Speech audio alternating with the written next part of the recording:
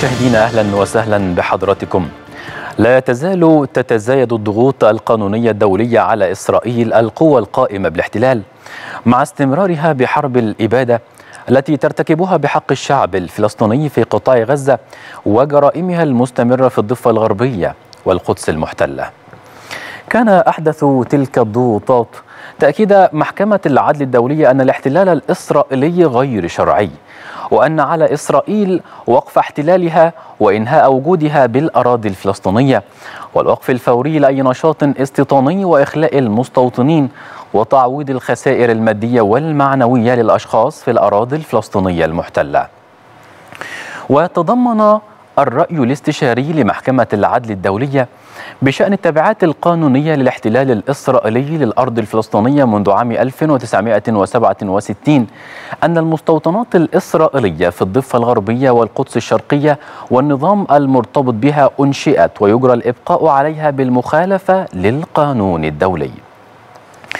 وشددت المحكمة على وجوب عدم اعتراف الدول بالوجود غير الشرعي للمستوطنين والإسرائيل في الأراضي الفلسطينية المحتلة وعدم تقديم أي مساعدة من شأنها أن تساعد إسرائيل في الحفاظ على الوضع القائم في الأراضي الفلسطينية المحتلة.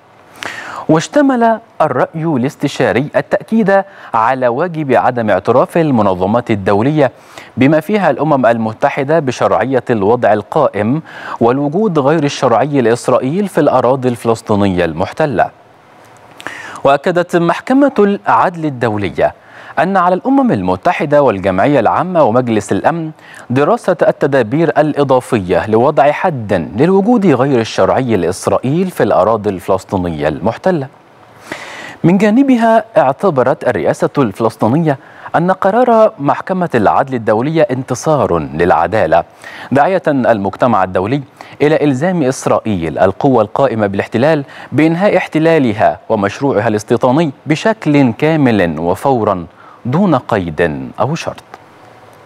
مشاهدينا كان هذا عرضا موجزا حول القرار الصادر عن محكمة العدل الدولية أعلى هيئة قضائية دولية بشأن التبعات القانونية للاحتلال الإسرائيلي للأرض الفلسطينية منذ عام 1967 نشكر لحضراتكم حسن المتابعة.